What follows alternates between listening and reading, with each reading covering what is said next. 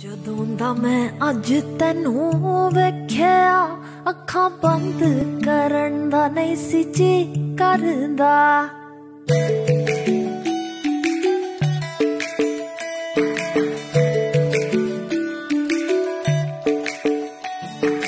ਜਦੋਂ ਦਾ ਮੈਂ ਅੱਜ ਤੈਨੂੰ ਵੇਖਿਆ, ਅੱਖਾਂ ਬੰਦ ਕਰਨ ਦਾ ਨਹੀਂ ਸੀ ਜੀ ਕਰਦਾ। ਕਿਵੇਂ ਸਾਂਭ ਕੇ ਰੱਖਾਂ ਇਸ ਨਜ਼ਾਰੇ ਨੂੰ? ਇਸ ਖਿਆਲ ਤੇ ਨਹੀਂ ਸੀ ਮੇਰਾ ਬਸ ਚੱਲਦਾ। ਓ